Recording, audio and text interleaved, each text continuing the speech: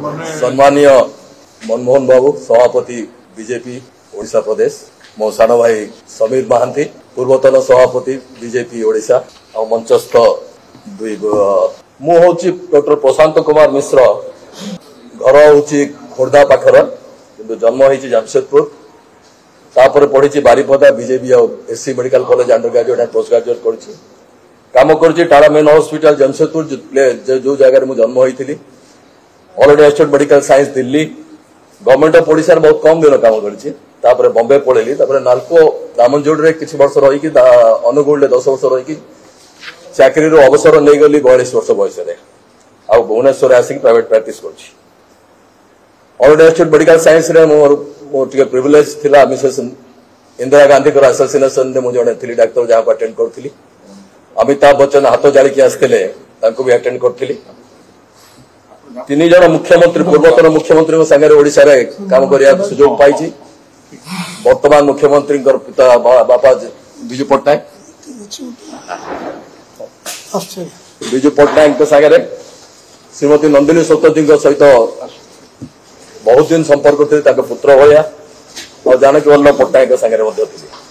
ଅଧିକା କଣ ଆଉ କହିବି ଓଡ଼ିଶା ବିଷୟରେ? ବଡ ଠାକୁର ଯୋଉଠି ବଡ ଠାକୁର ବଡ ଦାଣ୍ଡ ବଡ ଦେଉଳ ଆଉ ଆମର ଭୁବନେଶ୍ୱରରେ ଲିଙ୍ଗରାଜ ସେଇ ଜାଗାରକୁ ମୁଁ ଆପଣ ୟା ଭିତରେ କିଛିଟା ମୁଁ ଦେଖିଥିଲି ଅଳ୍ପ କିଛି କହିବି ଆ, ସମୟ।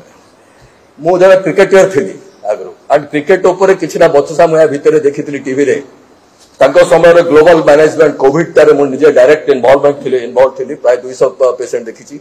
କିନ୍ତୁ କାହାଠୁ କିଛି ପଇସା ନେଇନି କାରଣ ଏମିତିଆ ଆ, ରୋଗ ଆମେ ପାଠ ପଢିଲା ବେଳେ କେବେ ଦେଖି ଶୁଣି ନଥିଲୁ କି ପଢି ନଥିଲୁ ଏ ପ୍ରକାର ରୋଗକୁ ସେଇ ସମୟରେ ଯେ କିପରି କଣ୍ଟ୍ରୋଲ କରାହେଇଛି ସେଇଟା ଆମେ ସମସ୍ତେ ନିଜେ ଅନୁଭୂତି ଡାକ୍ତର ହିସାବରେ ଆମର ପ୍ରୋଗ୍ରେସ ମନ୍ତ୍ର ହଉଛି ଅର୍ପଣ ତର୍ପଣ ଓ ସମର୍ପଣ to move on to move on grow and evolve ମୋର ଗଭୀର ବିଶ୍ୱାସ ଓ ଅନୁରୋଧ ସମସ୍ତ ରାଜ୍ୟବାସୀଙ୍କୁ ବହୁ ସଂଖ୍ୟାରେ ଆସି ନିଜର ମୂଲ୍ୟବାନ ଭୋଟ ଦିଅନ୍ତୁ କିନ୍ତୁ ନିଜର ସ୍ୱାଭିମାନ ହୃଦୟକୁ ଥରେ ପଚାରିବେ ତିନିଟି ବିଷୟରେ। ଦୟା ବନାମ ଦକ୍ଷତା ଆଉ ଦମ୍ଭତା ଉପରେ। ଓଡ଼ିଶାବାସୀ ଏଥରକ ମନସ୍ଥ କରିସାରିଛନ୍ତି ବିକଶିତ ଭାରତ ପାଇଁ ଡବଲ ଇଞ୍ଜିନ ସରକାର। ଶେଷରେ ମୋଦିଜୀଙ୍କର ଗ୍ୟାରେଣ୍ଟି ଉପରେ अब की बार 400 पार अब की बार 400 पार अब की बार 400 पार धन्यवाद जय जगन्नाथ ମେଡିକାଲ ପାଠ ପଢିବାକୁ ଗଲି ତା ପୂର୍ବରୁ ସ୍କୁଲ ଆରମ୍ଭ କଲି ଆଉ ସବୁ ଚାରି ବର୍ଷ ପର୍ଯ୍ୟନ୍ତ ଅକ୍ଲାନ୍ତ ପରିଶ୍ରମ କରି ସେ ସ୍କୁଲକୁ ଏଷ୍ଟାବ୍ଲିଶ କରିଥିଲି ଆପଣମାନେ ଶୁଣି ଖୁସି ହେବେ ସେଇ ସ୍କୁଲର ପ୍ରଥମ ଛାତ୍ର ଆଜି ଦିଲ୍ଲୀ ୟୁନିଭର୍ସିଟିର dean and pro vice chancellor ଏହା ହେଉଛି ମୋର ମୋର ବାଲ୍ୟକାଳର ସତର ବର୍ଷ ଆଜିକାଲି ସତର ବର୍ଷ ପିଲାମାନେ ଯାଉଛନ୍ତି କୋଉଠି ଏଣ୍ଟ୍ରାନ୍ସ ଦେବା ପାଇଁ ହେଲେ ବାପା ମା ଦୁଇ ଜଣ ନଗଲେ ସେମାନେ ଯାଉନାହାନ୍ତି। ସେଇ ବୟସରେ ସେଇ ଜାଗାରେ ମୋର କେତେଜଣ ବନ୍ଧୁକୁ ଧରି ମୁଁ ଗୋଟେ ସ୍କୁଲ ଆରମ୍ଭ କରିଥିଲି। ଯେତେବେଳେ ମେଡିକାଲ କଲେଜରେ ପାଠ ପଢୁଥିଲି ସେତେବେଳେ ଯୋଉ ଦୁଇ ମାସ ଛୁଟି ହୁଏ ମୁଁ ଏ ସ୍କୁଲ ପାଇଁ ଲାଗି ସେ ସ୍କୁଲ ଆଜି ଗୋଟେ ଗୋଟେ ଇନଷ୍ଟିଟ୍ୟୁସନ ହେଇପାରିଛି। ଆଉ ତାର ପ୍ରଥମ ଛାତ୍ର ତାର ଆଜି ଡିନ୍ ହେଇପାରିଛନ୍ତି। ଇଏ ହେଲା ଗୋଟିଏ କଥା। ତାପରେ ମୁଁ ଯେତେବେଳେ ଏସ୍ସି ମେଡିକାଲ କଲେଜରେ ପାଠ ପଢୁଥିଲି ମୁଁ ଛାତ୍ର ସଂସଦର ପ୍ରେସିଡେଣ୍ଟ ଥିଲି। କେବଳ ଶାସ୍ତ୍ର ପ୍ରେସିଡେଣ୍ଟ ନଥିଲି ତାପରେ ପିଜି ଆସୋସିଏସନର ପ୍ରେସିଡେଣ୍ଟ ଥିଲି। ତାପରେ ମୁଁ ଏମସି ସେଇଠି ଏମଏସ୍ କଲି ସେଇଠି ଏମସିଏସ୍ କଲି ନ୍ୟୁରୋସର୍ଜରୀରେ ସେଇ ସମୟରେ ଆକ୍ଚୁଆଲି କିଛି ସୁବିଧା ନଥିଲା ଓଡ଼ିଶାରେ।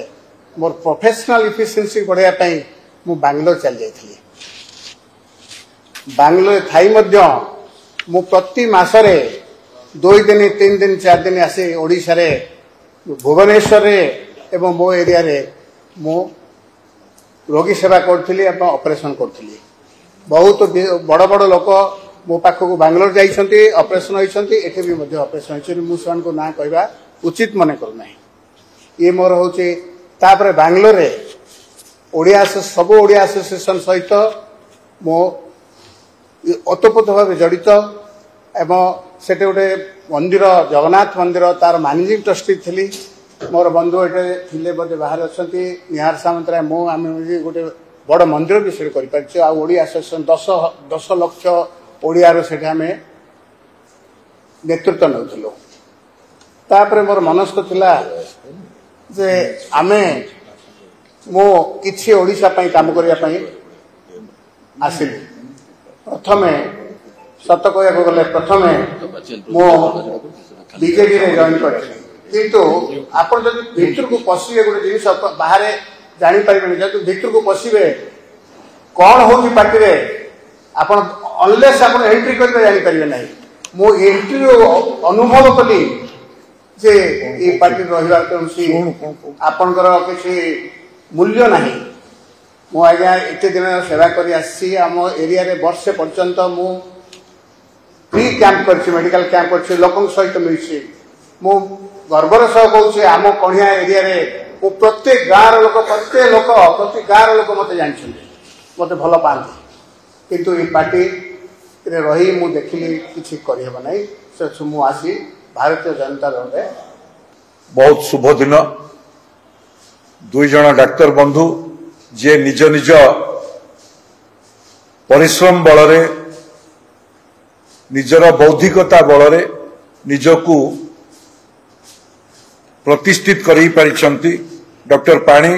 ଏବେ କହୁଥିଲେ କୋଉଭଳି ଏକ ସାମାନ୍ୟ ପରିବାରରୁ ଆସି ଜଣେ ସୁନାମ ଧନ୍ୟ ନ୍ୟୁରୋ ସର୍ଜରୀ ସର୍ଜନ ଭାବରେ ନିଜକୁ ପ୍ରତିଷ୍ଠା କରି ବାଙ୍ଗାଲୋରରେ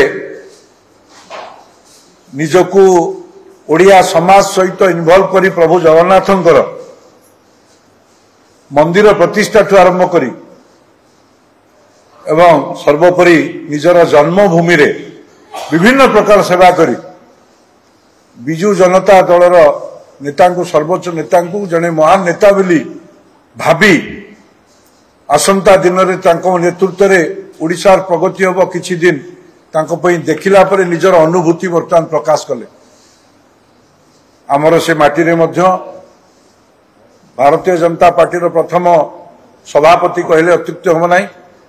ଧର୍ମେନ୍ଦ୍ର ପ୍ରଧାନଙ୍କର ପିତା ଡକ୍ଟର ଦେବେନ୍ଦ୍ର ପ୍ରଧାନ ସେ ମଧ୍ୟ ତାଙ୍କର ଗାଁ ପାଖରେ ପାଣି ସାରଙ୍କର ଘର। ମଧ୍ୟ ଗୋଟେ ଚାଷୀ ପରିବାରରୁ ଆସି ନିଜକୁ ପ୍ରତିଷ୍ଠା କଲେ ତାଙ୍କର ସୁପୁତ୍ର ଧର୍ମେନ୍ଦ୍ର ପ୍ରଧାନ ମଧ୍ୟ ଥରେ ବିଧାୟକ ଥରେ ସାଂସଦ ହେଇ ଦୁଇଥର ରାଜ୍ୟସଭାକୁ ଯାଇ ଦଶ ବର୍ଷ ଲଗାତାର ଭାବରେ ସେଠି କେନ୍ଦ୍ର ସରକାରଙ୍କର ଦାୟିତ୍ୱରେ ମନ୍ତ୍ରୀ ରହି ସେବା କରିଛନ୍ତି। ପୂର୍ବରୁ ମଧ୍ୟ ପ୍ରଜା ଆନ୍ଦୋଳନର ଯିଏ ନେତୃତ୍ୱ ନେଇଥିଲେ ସେହି ପବିତ୍ର ଭୂମିର ପବିତ୍ର ମୋହନ ପ୍ରଧାନ ମହୋଦୟ ସେ ମାଟିର ନିଶ୍ଚିତ ରୂପେ ଯେଉଁ ମହକ ଅଛି ଭାରତୀୟ ଜନତା ପାର୍ଟିରେ ଆଜି ପାଣି ସାରଙ୍କର ଯୋଗଦାନ ନିଶ୍ଚିତ ରୂପେ ଆମକୁ ଶକ୍ତି ଦେବ। ଆଉ ମୋର ବଡ଼ ଭାଇଙ୍କ ସାଙ୍ଗ ମୋର ନିଜ ବଡ଼ ଭାଇଙ୍କ ସାଙ୍ଗ ଡକ୍ଟର ପ୍ରଶାନ୍ତ ପାଣିଗ୍ରାହୀ ସରି ପ୍ରଶାନ୍ତ ମିଶ୍ର ଯିଏକି ନିଜକୁ ମଧ୍ୟ ଭୁବନେଶ୍ୱରର ଜନମାନସରେ ନିଜର ଇଏ ବଳରେ ପ୍ରତିଷ୍ଠା କରିପାରିଛନ୍ତି। ଆଉ ସେବା ମାଧ୍ୟମରେ ଆମେ ଶୁଣୁଥିଲେ ସେ ମଧ୍ୟ ସେଭଳି ଏକ ରାଷ୍ଟ୍ରବାଦୀ ବିଚାରକୁ ଭଲ ପାଇ ଆମ ସହିତ ଅଛନ୍ତି। ନିଜ ମନ ଭିତରେ ମଧ୍ୟ ତାଙ୍କ ରାଷ୍ଟ୍ରବାଦୀ ବିଚାର ଥିଲା। ରାଷ୍ଟ୍ର ପ୍ରତି ସମର୍ପିତ ଥିଲେ। ତ ନିଶ୍ଚିତ ସମସ୍ତ ଦୁଇ ଜଣ ବନ୍ଧୁଙ୍କୁ ମୁଁ ଧନ୍ୟବାଦ ଦେବି। ଆଉ ଏଠି ଉପସ୍ଥିତ ମୋର ଆଉ ଗୋଟିଏ ଭାଇ ଯିଏକି ପ୍ରଶାସନିକ ପୁଲିସ ପ୍ରଶାସନିକ ଅଧିକାରୀ ଭାବରେ ଭୁବନେଶ୍ୱର କଟକ ଉଭୟ ଜନମାନସରେ ମଧ୍ୟ ସେ ସୁପରିଚିତ ଥିଲେ। କୋଉ କାରଣରୁ? ଯାହା ବି ହଉ ସୁଖ ଖବର ମୋ ପାଇଁ। ଏ ବନ୍ଧୁମାନେ ଆମ ସହିତ ଯୋଗଦାନ କରି ଦଳକୁ ଶକ୍ତିଶାଳୀ କରିଛନ୍ତି। ଧନ୍ୟବାଦ। ହଁ ଆପଣ ଦୁଇ ଜଣ ଟିକେ ମୋବାଇଲ କାଢିବେ। ମୋବାଇଲ ନମ୍ବରଟେ ମୁଁ ଆପଣଙ୍କୁ କହିବି।